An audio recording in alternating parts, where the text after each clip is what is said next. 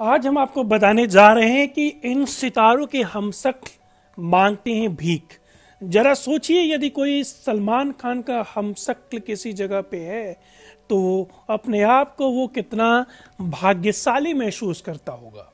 जरा सोचिए, यदि अमिताभ बच्चन के जैसी आवाज़ वाला कोई है तो अपने आप को वो कितना अच्छा मानता होगा। जरा सोचिए कि यदि दीपिका पादुकोण के जैसे दिखने वाली लड़की है तो वो कितनी इतराती होगी। लेकिन आपको ये जानकर हैरानी होगी कि सितारे, वो सितारे जो बॉलीवुड के स्टार हैं, वो सितारे जिन्होंने सिंगिंग में या क्रिकेट में पूरी दुनिया में अपनी बात साहत रखी है, लेकिन उनकी हम शक्ल वाला बंदा भीख मांगने पर मजबूर है। उनकी हम शक्ल वाला बंदा पाई पाई को मोहताज है। तो आइए दिखाएँ आपको वैसे सितारों की फेरिस्त जो जिनके हम शक्ल एक एक पाई को है, मोहताज।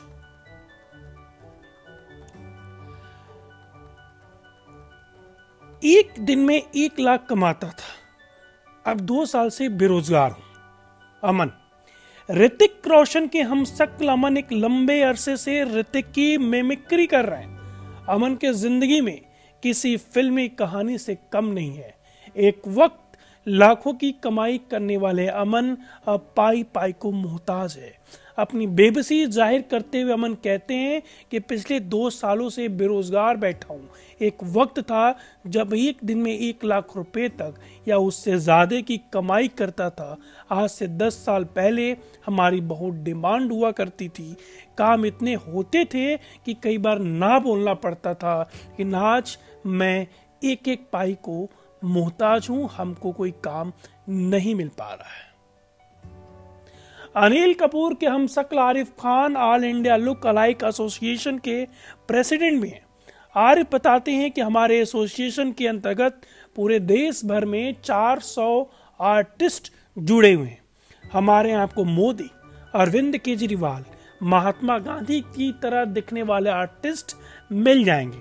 देखिए एसोसिएशन में ऐसे कई सदस्य भी हैं जो महज शौकिया तौर पे काम करते हैं और ये उनकी ऊपरी आमदनी है। वही कुछ हम जैसे लोग हैं जिनकी पूरी रोजी रोटी भी इसी पे निर्भर है। प्रेसिडेंट होने के नाते मेरी कोशिश है कि मैं उनकी मदद करूँ, लेकिन कई सारे लोग इस समय भूखमरी के कगार पे ऐसे कई सारे लोग हैं जो बहुत बड़े स्टार के हम शक्ल हैं, लेकिन आज वो रोजी रोटी भी नहीं चला पा रहे हैं घर में, और उनकी पूरी लाइफ स्टाइल बर्बाद हो चुकी है।